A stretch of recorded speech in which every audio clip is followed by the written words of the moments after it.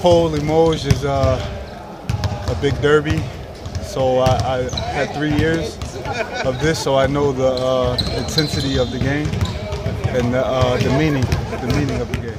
Every game was uh, was tense and uh, full of emotion, but uh, it wasn't one that well.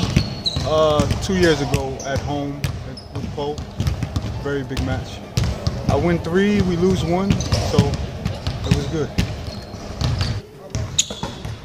Oh, yeah.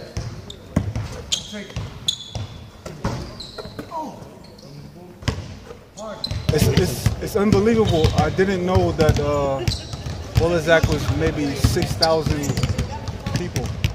And that's a good thing because everyone is together. And uh, they give the, the team great support.